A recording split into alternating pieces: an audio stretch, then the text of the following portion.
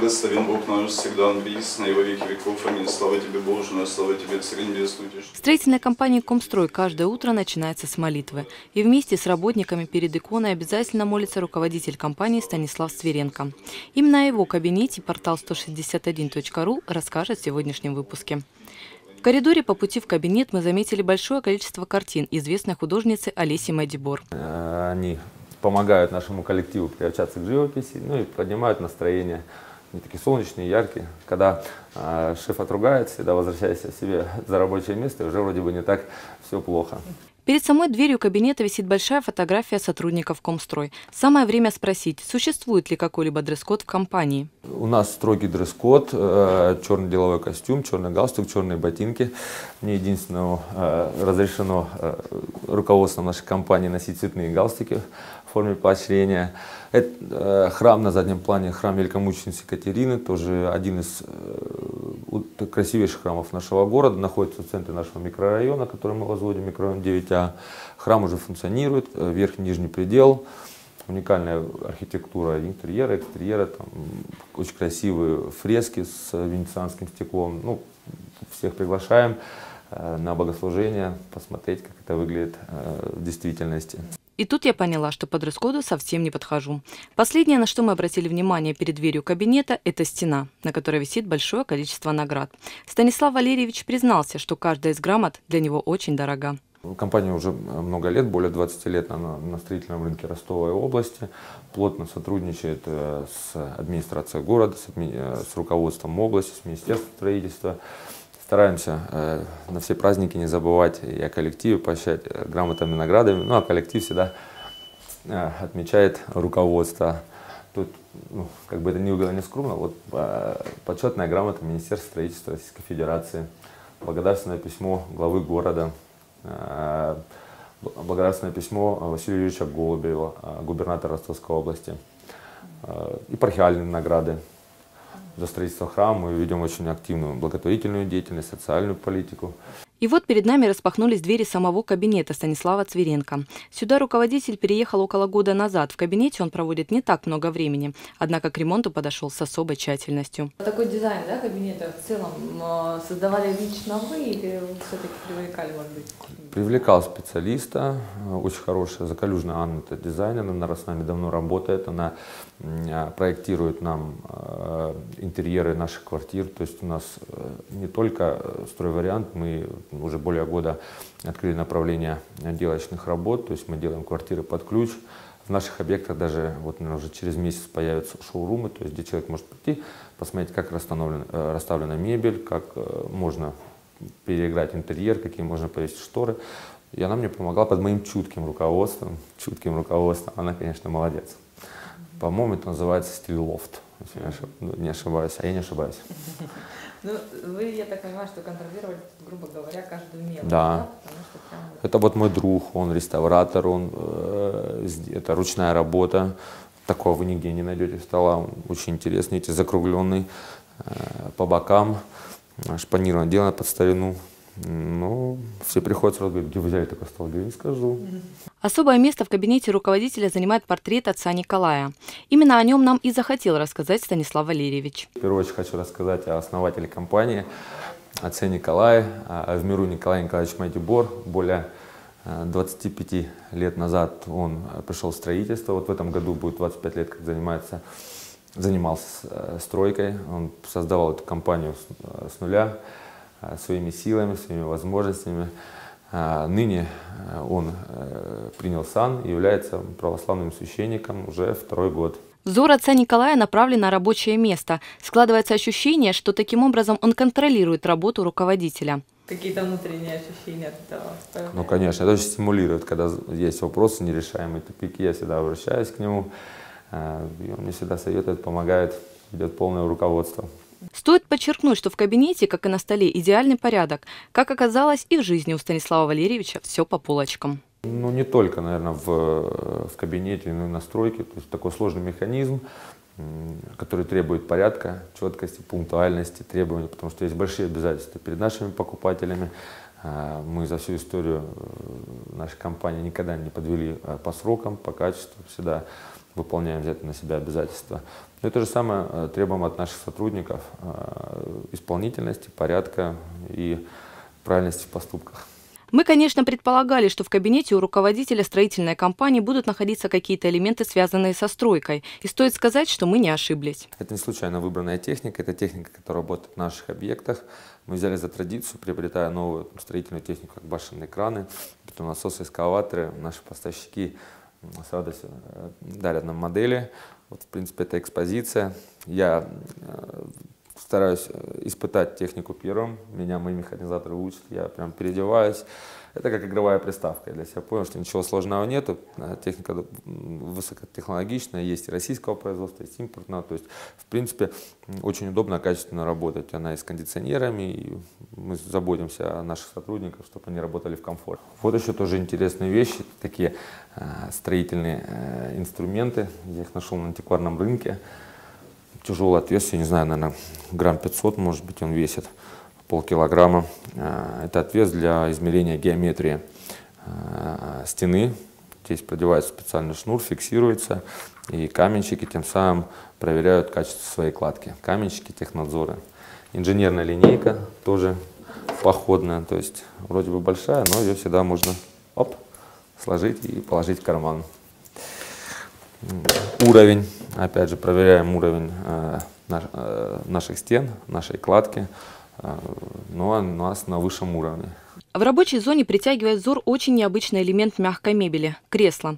Кстати, присесть на него я так и не решилась. Привезено с Африки, тоже моими друзьями. Я сам на нем не сижу, но всем предлагаю всегда. Это не декоративное, это настоящее кресло из кожи буйвола, рогов буйвола. То есть ручная работа, африканскими мастерами. Долго ждал его, пообещали давно, и отвезли мне это месяца три, но оно отлично вписалось по цветовой гамме, и решил его здесь оставить. В свое время хотел его поменять на рабочее кресло, но дискомфортно. На нем нельзя кататься, откидываться, все время в напряженном состоянии быть тяжело.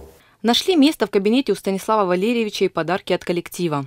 Лошадь, это вот у меня буквально в прошлую пятницу было день рождения, коллектив подарил мне лошадь, говорят, как ее надо ставить по фэншую, направлять там, или от окон, или к двери, я прочитал.